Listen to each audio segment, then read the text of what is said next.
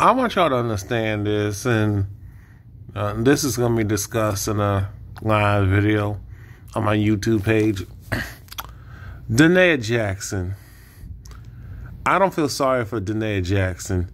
Danae, this heifer, this Hoffa is crazy. This Hoffa made a false allegation about and lied. And shout out to Rango TV, Rango TV Raw, um, claiming that she was abused, she was RAP3, right? And she was still with the, the so-called abuser and was still cool with him. That doesn't see this. This is what frustrates me about you modern heifers. Y'all don't want to hear about men horror stories being SA rage RAP free. Y'all don't hear that part, but you will let heifers mock y'all and make false allegations where it makes it makes it harder for y'all to come forward. That's why y'all not taking being taken seriously, especially black women. See, as long as it's a black man, y'all, and y'all, y'all do the same thing that these racist, misandric Caucasian females do. Y'all don't care about black men, and y'all don't really support the Innocent Project. Because if you did, you would actually stop lying on black men. And saying that this happened to you and it didn't. Like these cave hoes.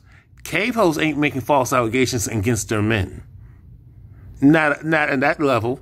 I'm not saying false allegations don't happen with Caucasian males, with Caucasian females. I'm not saying it doesn't happen. It's just not, the, they don't go to um, mixed company and make false allegations, and they don't make false allegations against Caucasian males and using that system to weaponize, to, to, to tear them down and destroy them, even if they did it, and even if they were complicit and did the same shit. You know why? Because they value their men. Caucasian females, Asian females cave hoes, the caves value the cave males. The cave female values the cave males. The ca- Caucasian females values the Caucasian males. Asian females value Asian males. Latinas value Latinos. Okay?